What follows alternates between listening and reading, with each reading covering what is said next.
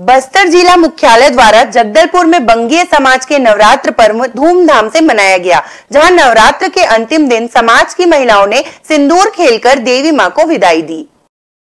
नवरात्र पर्व पर बंगी समाज ने माँ दुर्गा को बेटी की तरह विदाई देकर सिंदूर खेला। सिंदूर खेलने के पीछे बंगी समाज के लोगों का मानना है कि माँ हर साल ऐसे ही श्रृंगार कर आए और हर भक्तों को अपना आशीर्वाद दे। बंगी समाज की महिलाओं ने इसी भावना के साथ सिंदूर खेलकर माता का आशीर्वाद लिया।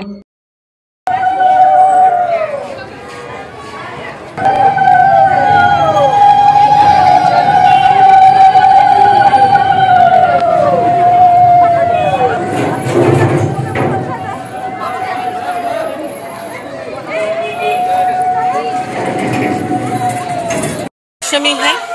माँ का विदाई का दिन है आज। तो सुबह हमारे मतलब विदाई का पूरा जितना कार्यक्रम है, सब कुछ हुआ है, उनके नाम से विसर्जन किया गया है। आज दशमी में माँ जा रहे हैं। हमारे लिए बहुत दुख की बात है। साथ साथ ये भी खुशी है, जो माँ फिर अगले साल हमारे पास आ रहे हैं। हम उनका एक साल तक इंतज़ार करते हैं।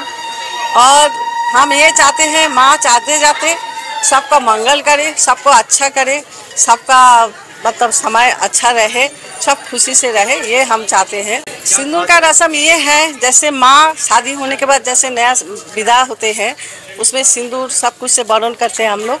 ऐसा हमारे बंगाली का परंपरा है, हम सिंदूर खेल के माँ को मतलब खुशी मनाते हैं, जो हमारे साथ माँ एक साल के लिए सिंदूर खेले, हमारे साथ, हमारे रंग में रंगे हैं।